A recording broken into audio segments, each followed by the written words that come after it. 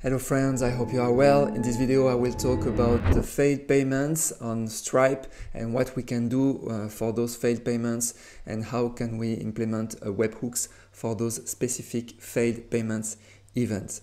Uh, if you have not seen my previous video with the implementation of the webhooks, uh, I think you should have a look at uh, this video first because this current video is about the failed, failed payments only. So uh, I've implemented uh, Stripe for a couple of months now and I realized that uh, for around 10 to 15% of the payment uh, they are failed. Basically the user, uh, the clients try to input the, his uh, credit card and then he tried to pay but he failed. Um, the reason of this failure is not really known. the, the reason that is written on Stripe is uh, that the, the issuing bank, bank uh, refused to, to pay. So it's blocked by the banks of the issuer. So you can see here uh, all the failed payments. You see cancelled, cancelled, cancelled, cancelled, cancelled. But uh, don't be so worried because some, uh, like for example, this this cancelled, this cancelled, cancelled. It's the same uh, customer that try again and try with a different card, but still keep uh, keep failing. So if I just check uh, like all my payments, I go to the next page. You can see cancelled cancel so to cancel around like 10% 10 to 15% of the of the, the payment are cancelled. So the question is what to do with those cust customers uh, for which uh, we have failed payments uh, how to handle that how to get notified when we get a failed payment. So first thing that the, there is no, even if you implement Stripe on your, uh, if you uh, install Stripe on your smartphone, you don't get any notification when there, there is failed, failed payments. You only get notified when there is a successful payment, that's the first thing. So um, what I did is uh, quite good because uh, I managed to implement a workflow for failed payments, for failed payments, and I'm going to show you how. So First thing, you need to go to uh, developer again. So that's the developer, the developer uh, page is where you can set up your webhooks. So if you don't know how to implement the webhooks, go to my previous video. So this is my uh, webhooks here. So it's in PHP, okay? And you can see here that all the payments, you can see that I have now payment that are completed, completed, completed, but I also have uh, events in case the payment are failed. So in order, in order to catch those, uh, those events, you need to add them into your existing uh, uh webhooks or you can create another webhooks for your uh, for the failed payment. On my, on my in my case, I've just upgraded, amended my existing webhooks, and I'll show you how. So you go here, update detail, and here make sure that you have the successful payment, which, is, which are this one, completed. You see, check session completed and check session asynchronous payment succeeded. And I added those three um, failed payment events, the payout failed, the pay intent payment failed, and the checkout session async payment failed, right? Everything that was failed, basically, I've added it. So what, what does it, um, so once you do that, uh, you've updated your endpoint and all those events will be sent to your, um, to your webhooks PHP file on your server. On my, in, my, in my case, I implemented Stripe on my VPS server. Go to my previous video to know how to implement uh, the uh, Stripe webhooks.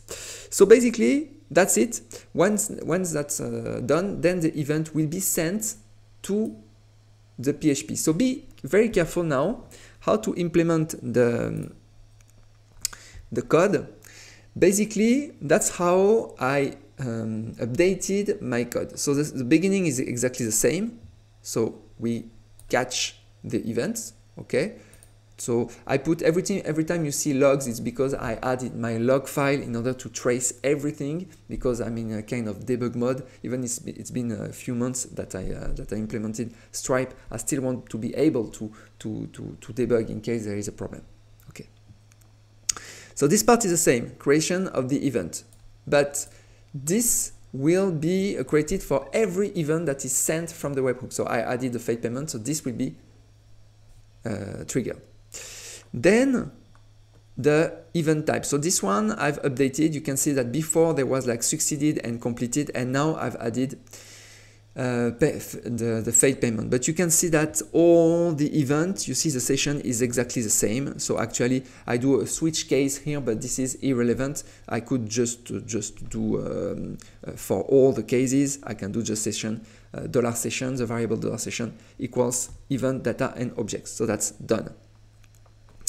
Now, in case of failed payments, I've added this block. So the question is, how do you want to automate in case of failed payment? Given that you will have the email of the customer that tried to pay but failed, and you may have also the phone number. So what can you, what do you want to do?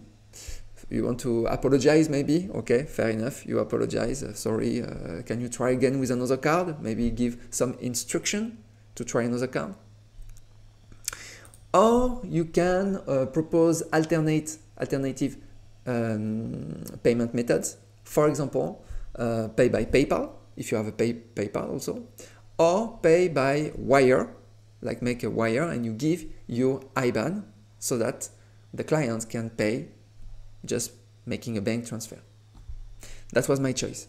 Okay, so um, so what I will do, I, I, will just send an email. So I just retrieve um, all the, the, the information. So like the email, I check, I uh, I uh, gather also the phone number and the failure message. Okay, and I will just send an email.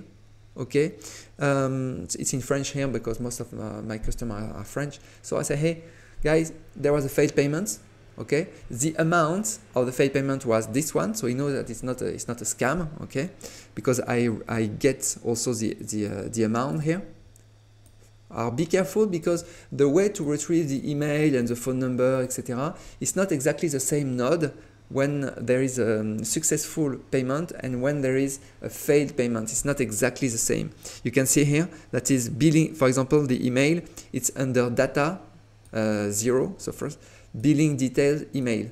And if it's a successful payment, it's not the same, it's customer detail email. So it took me some time no, to, uh, to, to, understand, to understand that. Just uh, log the full JSON uh, object and you will see uh, where, where are the information you want to retrieve.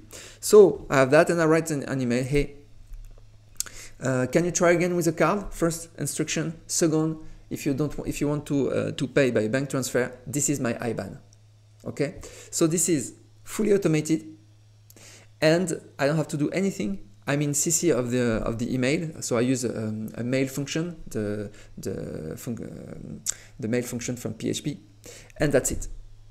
Nothing nothing else to do.